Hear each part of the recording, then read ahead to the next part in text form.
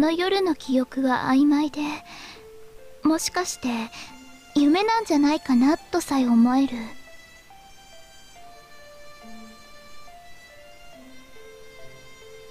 月が赤い夜は外に出ちゃいけないよ。魔女に呪われてしまうからね。そんなおとぎ話をよく聞かされたっけ？5年前の月の赤い夜。私たちは外にいた。まるで何かに誘われるように外を歩いていた。そんなに歩いていないはずなのに周りは知らない景色だった。不安で泣きそうな私を姉さんはずっと励ましてくれた。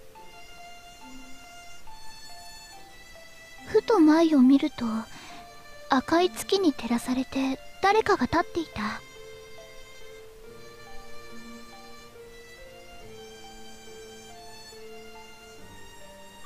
誰なのか確かめようとして目を凝らすと月の光はそれを遮るかのようにより強く輝き出した。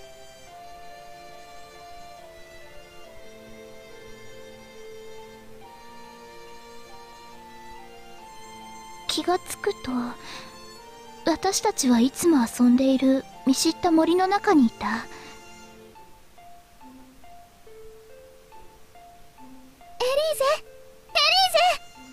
私を呼ぶ姉さんの声がする。